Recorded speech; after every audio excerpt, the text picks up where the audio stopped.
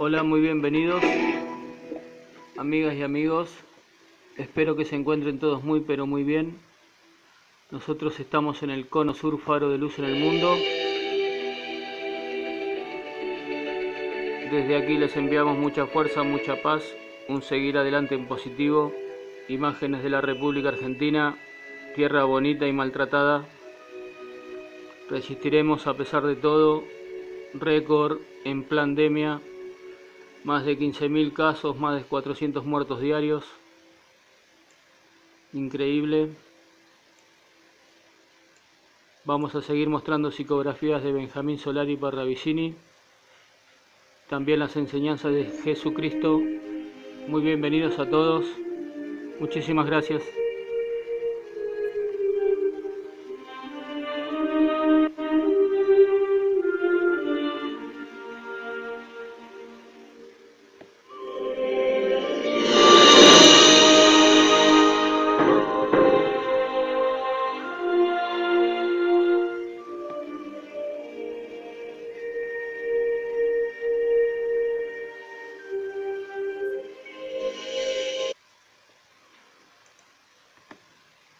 Finales al 5 del mes 5 del año 5 con los 5 días y las 5 horas y faltarán 5.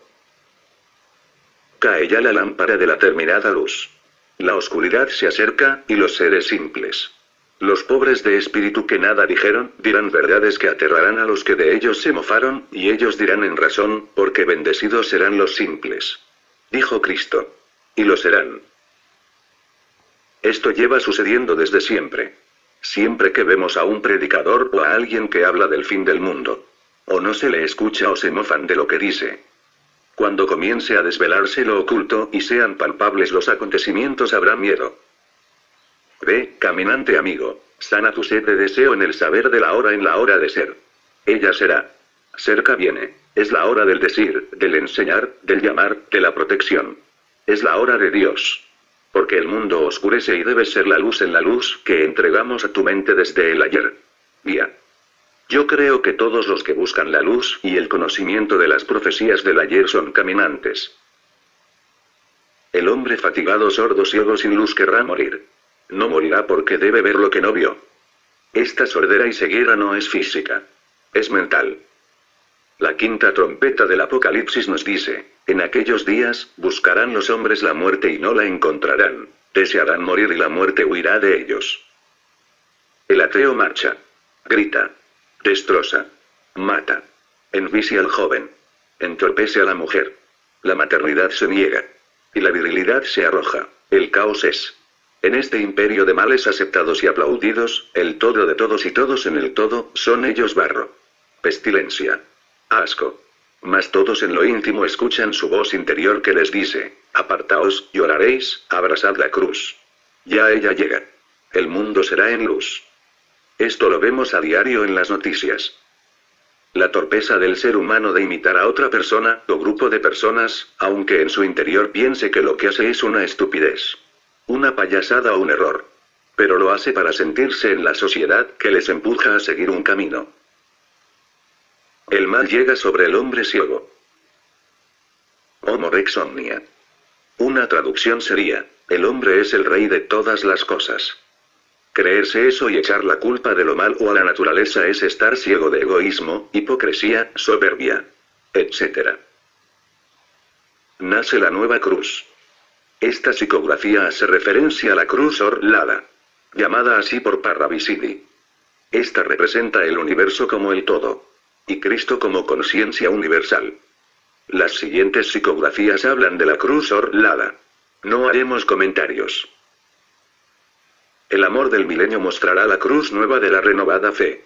Y la cruz nueva será en el ámbito. Hermanando. El mundo caerá hacia el espacio, más la cruzada del nuevo símbolo cruz en corazón, cruz orlada en amor, Cristo círculo Dios.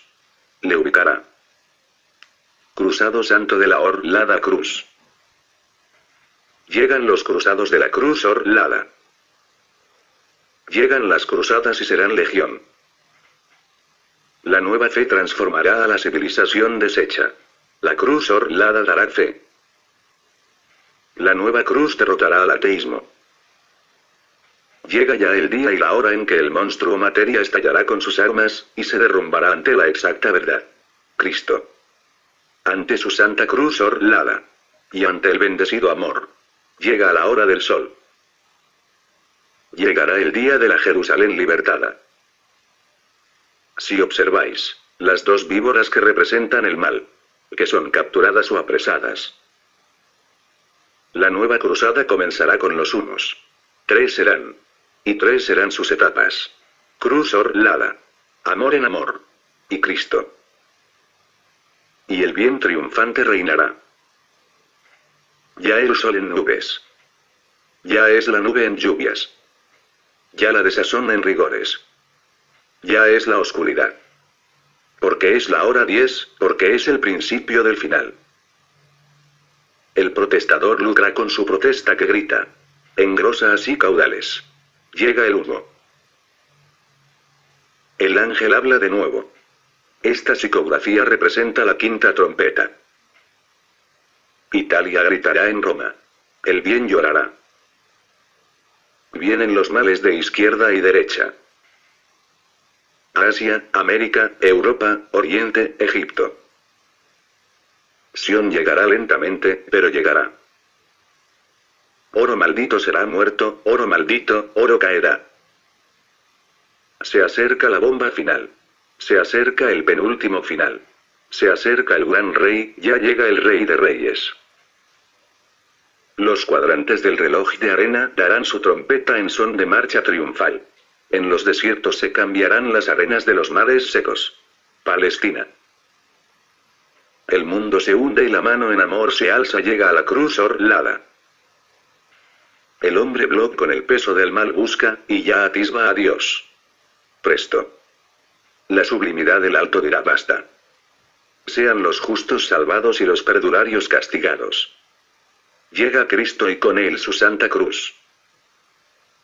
Caerá sobre la tierra el día 5 del 5 de 5 el golpe de fuego estelar. Caerá en las regiones del Gibraltar y de las Islas Baleares. Tres días hallidos en América del Norte, y por fin un día de cinco horas en las Antillas. El fuego purificará. El anónimo ser que se allega. Tamiendo la campana de voces, dirá, traigo al mundo la linterna de la redención. Porque las voces dicen a los cuatro vientos. La verdad del agua. Y la verdad de la cruz. Más traigo dos sobres que se ven. Más no dicen aún. Dirán en el día del Cristo. Ya la hora de las tres horas, en la era de los tres tiempos, comenzó.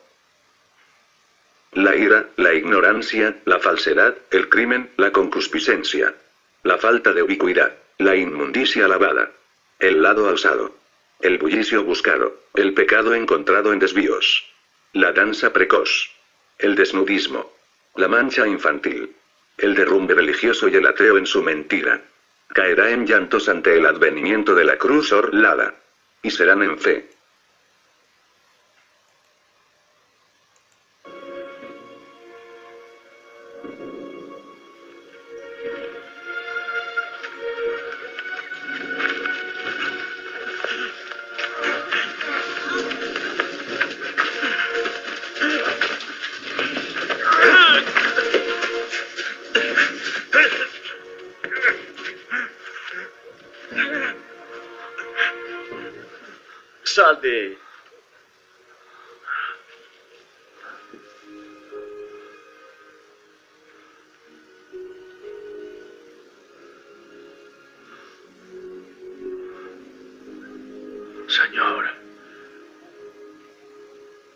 Echa fuera los demonios por Belcebú, príncipe de los demonios.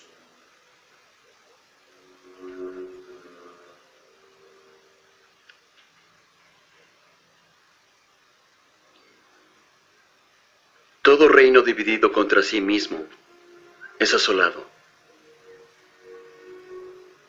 Y una casa dividida contra sí cae.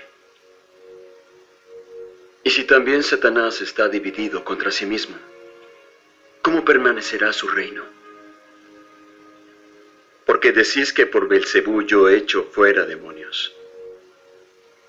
Pues si yo los echo fuera por Belcebú, vuestros hijos por quién los echan fuera? Por tanto, ellos serán sus jueces. Pero si yo, por el dedo de Dios, echo fuera demonios, sin duda, el reino de Dios ha llegado a vosotros. Cuando el hombre fuerte y armado guarda su casa, lo que posee está en paz. Pero si viene otro más fuerte que él y le vence, le quita todas sus armas en que confiaba y reparte sus despojos. El que no está conmigo, contra mí está. Y el que conmigo no recoge, desparrama.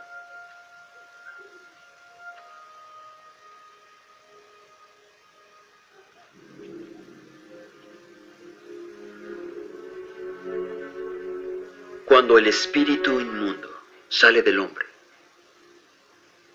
anda por lugares secos, buscando reposo.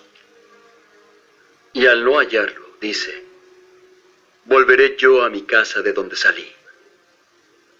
Y cuando él llega, la halla, barrida y adornada.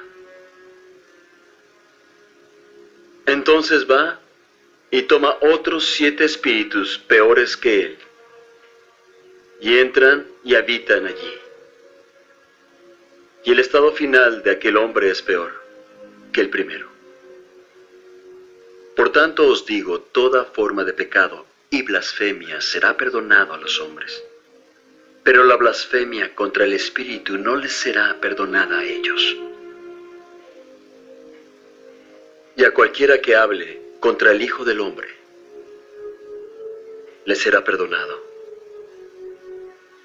Pero a quien hable contra el Espíritu Santo no le será perdonado, ni en este mundo ni en el mundo venidero. O haced el árbol bueno y su fruto bueno, o haced el árbol malo y su fruto malo, porque todo árbol se conoce por su fruto. Generación de víboras. ¿Cómo podéis siendo malos hablar lo bueno? Porque de la abundancia del corazón habla la boca. El hombre bueno, del buen tesoro del corazón saca buenas cosas. Y el hombre malo, del mal tesoro saca malas cosas. Mas yo os digo que de toda palabra ociosa que hablen los hombres, ellos darán cuenta en el día del juicio. Porque por vuestras palabras seréis justificados, y por vuestras palabras seréis condenados. Maestro, deseamos ver una señal tuya. Vuestra generación mala y adúltera demanda señal. Pero señal no le será dada, sino la señal del profeta Jonás. Porque como Jonás estuvo tres días y tres noches en el vientre del pez, así estará el Hijo del Hombre, tres días y tres noches en el corazón de la tierra. Los hombres de Nínive se levantarán en el juicio con esta generación y la condenarán porque ellos se arrepintieron por la predicación de Jonás, mas hay uno mayor que Jonás aquí. La reina del sur se levantará en el juicio con esta generación y la condenará. Porque ella vino de los confines de la tierra para oír la sabiduría de Salomón. Pero hay uno, uno mucho mayor que Salomón aquí.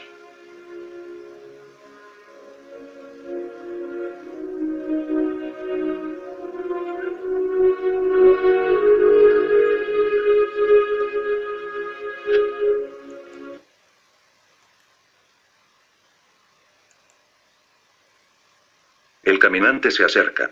Orad hermanas en la causa de la luz. Los hombres querrán morirse y no podrán. Buscarán los hombres la muerte y no la encontrarán. Desearán morir y la muerte huirá de ellos. Ya hemos comentado que esto es mental.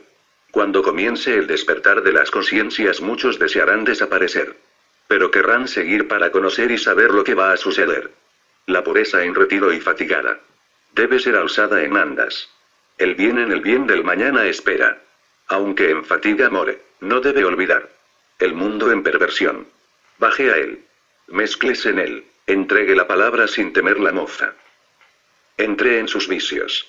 No por ello la pureza será en extravío. No por ella palidecerá. No. Sea su luz. Luz. Y será mayor.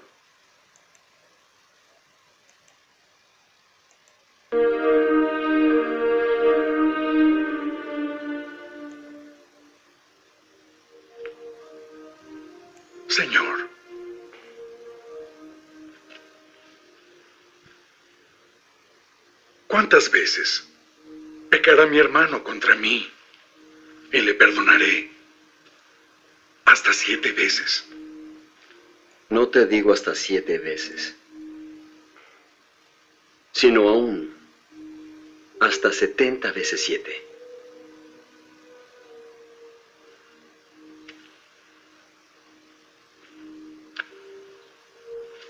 Por lo cual el reino de los cielos es semejante a un rey que quiso hacer cuentas con sus siervos. Y cuando comenzó a hacer cuentas, llegó uno que le debía diez mil talentos. Mas como éste no podía pagar, mandó su señor venderlo a él y a su mujer e hijos, con todo lo que tenía, para que se le pagase. Entonces aquel siervo, postrado, le suplicaba, diciendo, Señor, ten paciencia y te lo pagaré todo. Entonces el Señor, movido a misericordia, le soltó y le perdonó la deuda. Pero saliendo aquel hombre halló a uno de sus consiervos que le debía cien denarios. Y tomándole del cuello le ahogaba diciendo, Págame lo que me debes. Entonces su consiervo, postrándose a sus pies, le rogaba diciendo, Ten paciencia, y te lo pagaré todo. Mas él no quiso, sino que fue y lo echó en prisión, hasta que pagase la deuda. Y viendo sus consiervos lo que pasaba, se apenaron mucho. Y fueron y declararon a su señor todo lo que había pasado.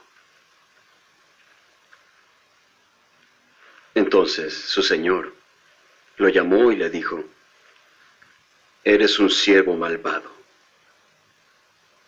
Toda aquella deuda te perdoné porque me rogaste.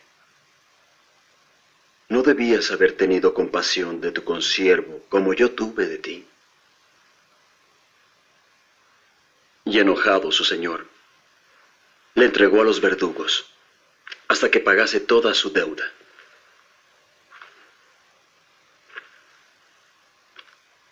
Así también hará el Padre con vosotros.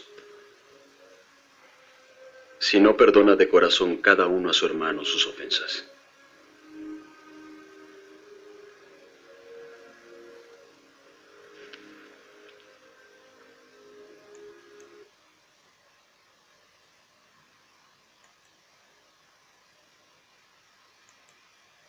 El ermitaño joven del norte que viaja hacia el sur.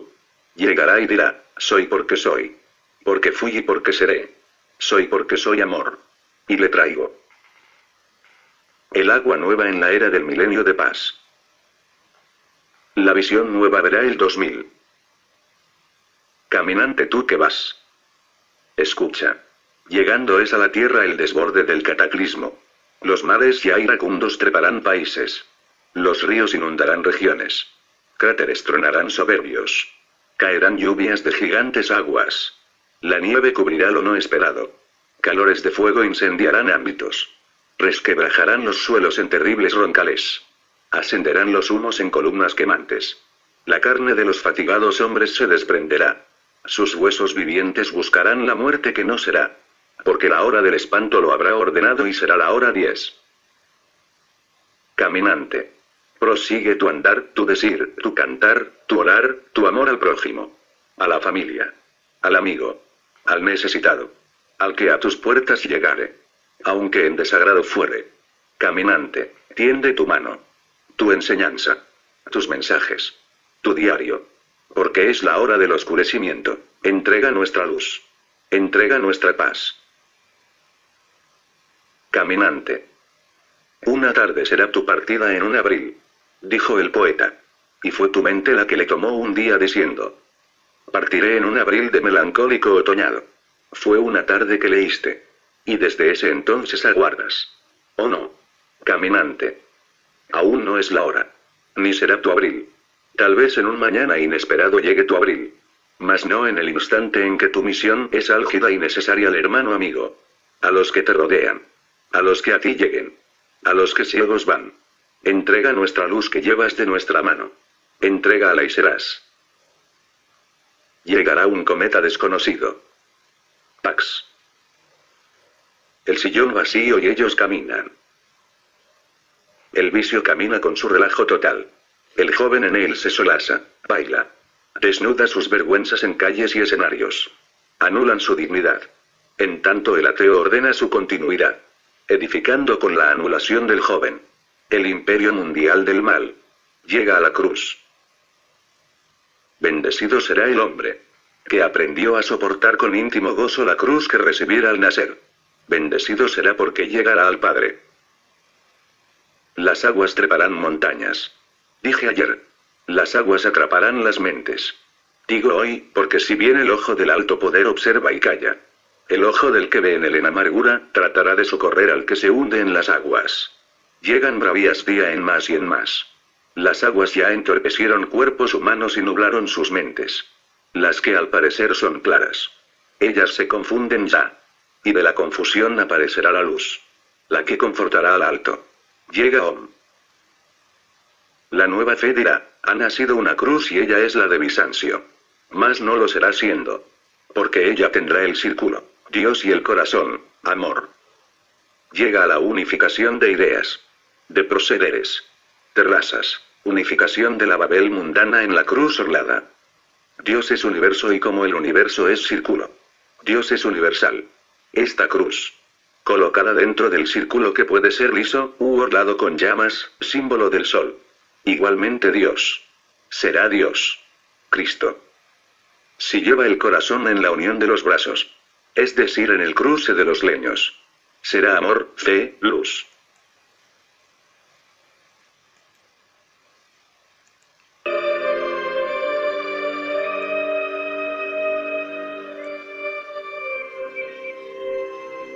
Muchísimas gracias a todos, amigas y amigos.